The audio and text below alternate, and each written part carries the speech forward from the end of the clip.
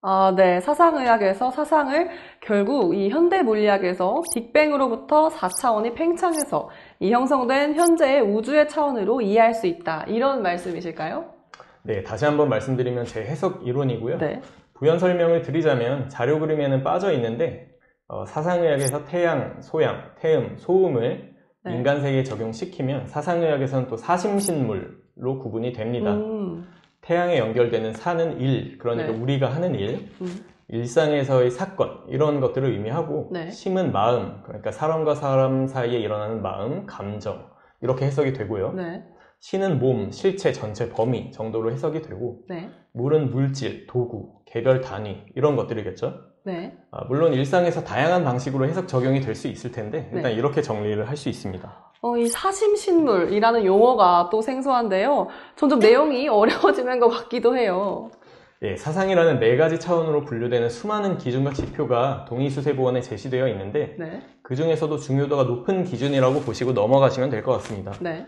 어, 여기서 제가 사심신물을 말씀드린 이유를 잠시 설명을 해드려야 될 것 같은데요. 네. 자료 그림을 보시면 네네. 태극에서 주역에서와는 달리 네. 양의로 나뉘고 다시 네. 사상으로 분화가 되죠. 어, 양의에는 심신으로 설명이 되어 있고요. 네, 그렇네요. 아까 주역에서는 태극에서 음양으로 나뉘었다고 하셨는데, 이제마의 사상의학에서는 양의로 바뀌었네요. 네, 맞습니다. 사상의학, 아, 사상의 전 단계라고 할 수 있는 양의 단계에서 심신, 그러니까 소양과 태음은 있는데 네. 사물, 즉 태양과 소음은 없죠. 이 부분을 아인슈타인의 우주에서 찾을 수 있습니다. 음, 아까 말씀드렸듯이 시간과 공간, 물질과 에너지 이렇게 대칭 구조의 중심에서 네. 변하지 않는 절대값으로 마치 추와 같은 역할을 하는 게 바로 빛인데요. 네. 빛의 속도는 항상 일정하거든요. 네. 어, 그런데 혹시 빛이 파동이기도 하고 입자이기도 하다 이런 이야기를 들어보신 적 있으신가요? 아, 뭐 들어본 것 같기도 하고, 아닌 것 같기도 하고, 조금 애매합니다. 그렇죠. 저도 이제 물리학 내용을 많이 잊어버려서 열심히 기억을 해내야 하는데 네. 아, 간단히 설명을 드리면 어, 물리학자들이 이 빛이라는 존재가 뭔지 이런저런 실험을 해보니까 이게 어떨 때는 입자, 그러니까 물질적인 특징을 보이고 네.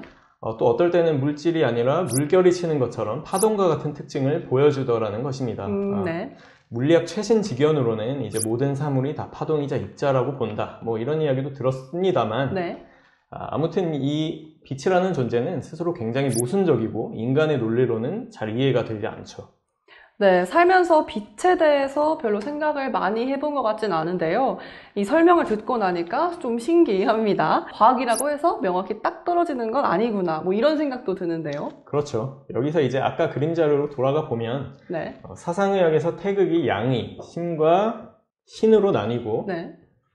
다시 사상으로 분화된 것에 대칭이 되어 빅뱅에서 가운데 어, 파동이자 입자인 빛을 두고 네. 시간, 공간, 물질, 에너지로 분화되는 것에 완벽하게 대응이 됩니다. 음, 네. 빛은 곧 파동, 즉 시간과 물질의 성질을 나타내기 때문에 어, 사 그리고 물이 되고 네. 이는 태양과 소음이니까 인간의 사상 분화 과정에서 양의에 빠져 있던 부분이 우주의 사상에서 채워집니다. 네, 정말 어렵지만 대칭적으로 딱딱 맞아 떨어지는 것 같긴 합니다. 그런데요, 이 파동이 시간의 성질을 나타낸다는 것은 왜 그런 걸까요? 아, 네. 파동이라는 물리 현상의 성질을 보면 네. 어, 진폭과 주기로 구성이 되죠. 네. 시간의 축에서 일어나는 현상이고요. 어, 묘하게도 일상에서 시간의 속성을 띠는 현상들도 마치 파동처럼 움직이고요. 음, 네. 계절이 그렇고 인간의 삶이 그렇고 시계 바늘이 한 바퀴씩 돌고 시계추가 왔다 갔다 움직이고 비슷하죠. 네. 또 동의수세보원에서의 근거를 찾아보면 어, 태양에 해당하는 천시는 지극히 탕하다고 풀이가 되어 있습니다. 어, 이 탕이라는 한자의 뜻풀이를 찾아보면 네. 어, 방탕하다라는 뭐 이런 뜻도 있지만 네네. 흔들다 이런 의미가 또 나옵니다. 아, 그렇군요. 이 시간과 관련된 현상들이 다 주기적으로 반복되는 것처럼 보이는 것 같은데요. 이런 의미가 사상의학에도 나와 있다는 말씀이시죠?